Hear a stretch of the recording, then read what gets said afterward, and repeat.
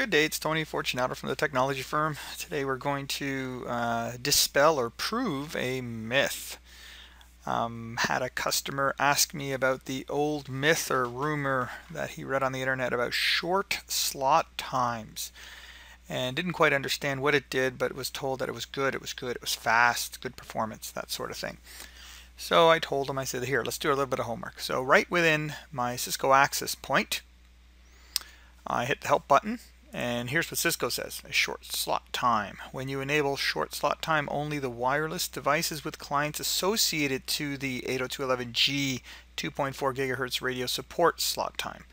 Enabling short slot time increases throughput on the 802.11g radio.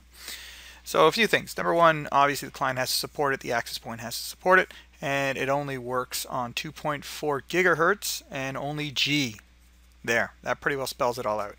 So that being the case, I said, uh, let's try it out because his access point, such as mine, supports short slot time and so does my client and or his.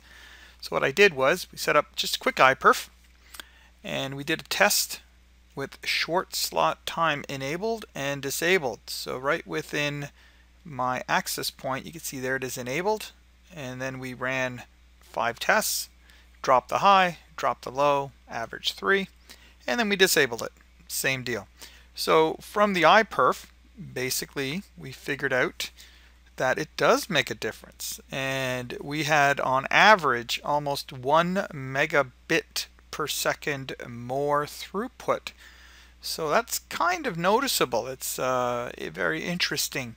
I was always on the fence if this mattered or not, and I was always led to believe that it depends on a whole lot of other factors that we haven't quite properly tested, such as load and, of course, interference and all that regular stuff that affects all throughput, not just short slot times.